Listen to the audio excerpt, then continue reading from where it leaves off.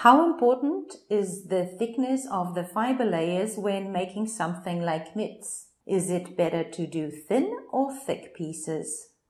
Okay, no matter if we're talking about mitts, clothes, hats or bags, my answer to this question would always be the same. You decide on how thick you want your piece to be.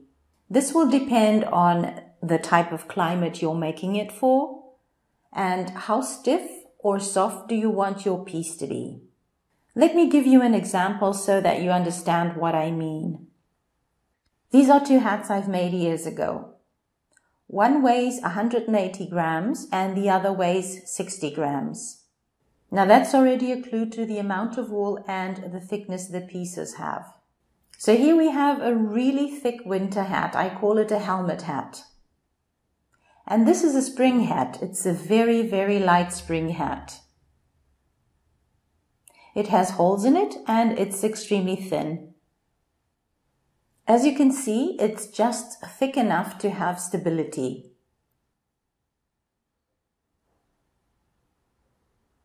So back to the question, how thick should the piece be? Well, as thick as you want it to be. Do you want a winter piece or should it be for spring?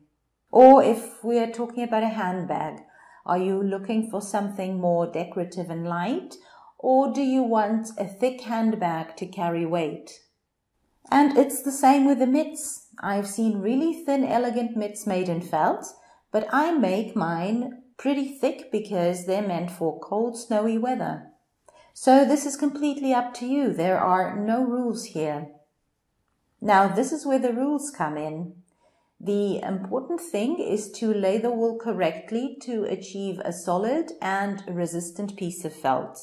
This is the key for a successful felt piece. So how do you do that?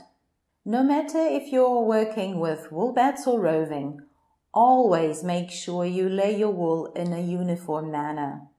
It's better to opt for thin layers, but more of them. For example, Make a thick bag with six thin layers instead of three thicker ones. This makes the structure much more resistant. Remember that felt is a non-woven material. Why is this important?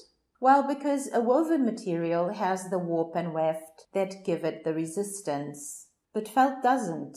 So we recreate it with the horizontal and vertical laying of the fibers and the more layers, the stronger the felt. But remember to keep the layers thin. Finally, as a general rule, make a sample before you start felting anything. I know that you want to get to it and start making your piece. I sometimes resist doing it as well. But I work mostly with two different types of wool, so I already know how they behave and what the right thickness is for the piece I'm making. But if you change the wool type you work with often, you have to get to know it first.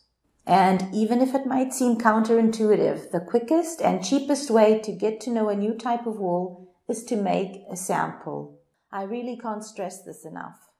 I have people asking me how they can solve a problem because their wool isn't felting, but they've already invested a lot of time and money on a big piece that they can't finish and that's frustrating. So please make a sample before you start felting.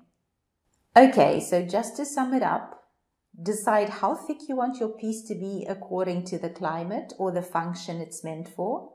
Make a sample to determine how many layers you'll need and how much the wool will shrink. You might need more than one to test different thicknesses.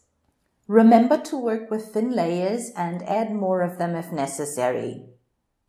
Okay, so this was my answer to this question. I hope it helps. If you still have questions around this, please leave them in the comments below. I always answer them.